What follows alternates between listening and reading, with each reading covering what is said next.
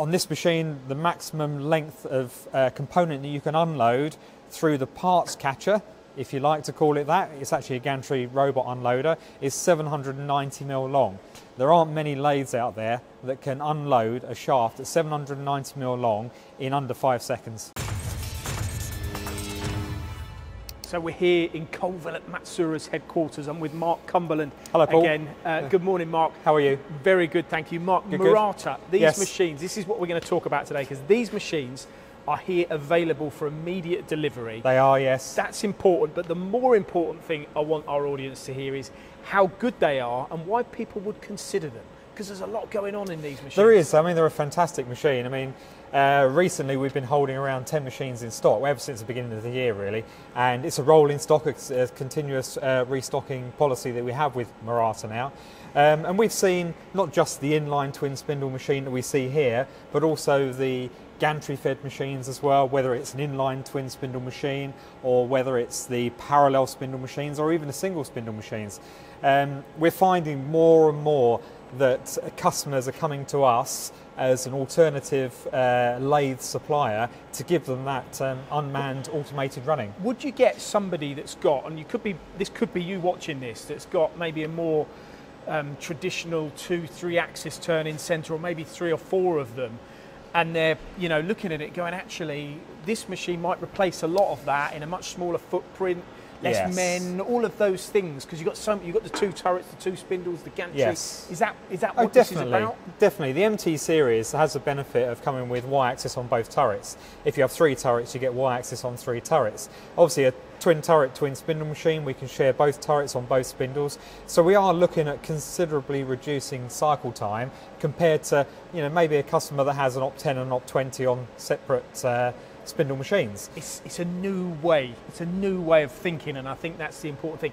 How quick are these as well? I mean, we're going to see another one in a minute, but how fast are they? It's gantry, it flies. It? It will, yes. I mean, our unload load time, um, we can get down as far as four seconds on some of the MW machines, uh, on, for, for billet loading, that is. But on this type of machine, if we're looking to unload um, a component, we can unload shafts.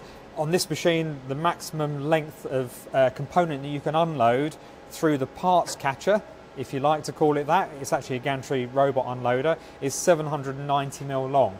There aren't many lathes out there that can unload a shaft that's 790 mil long in under five seconds. Okay, wow. So it's small parts and long parts And long too. parts. Let's go down to this next machine, Mark, the MD60.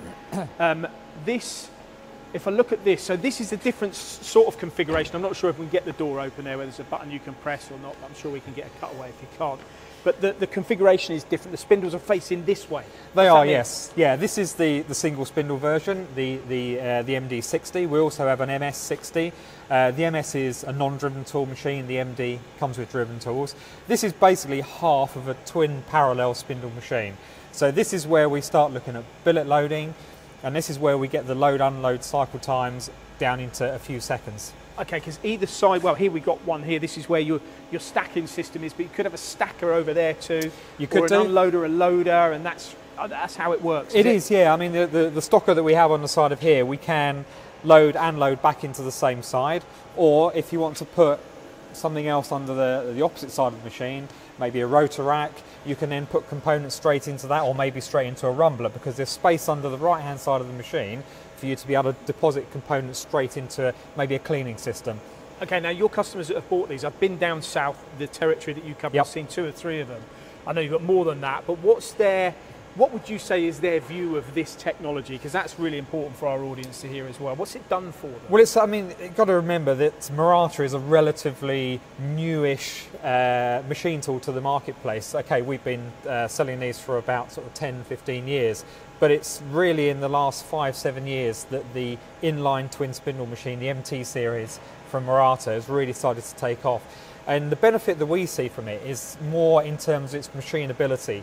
When we're looking at driven tool power on the MT200, we're up to 14 kilowatts of driven tool power, which you know is comparable to some machining centres. So we have a, a big advantage over some of our competitors in the fact that we have a, a true box guideway for our y-axis, so we've got a very very straight linear axis, um, and just the whole construction of the machine is a very very rigid design, which gives us very, very good surface finish and high accuracy qu- components. Quality of part, accuracy.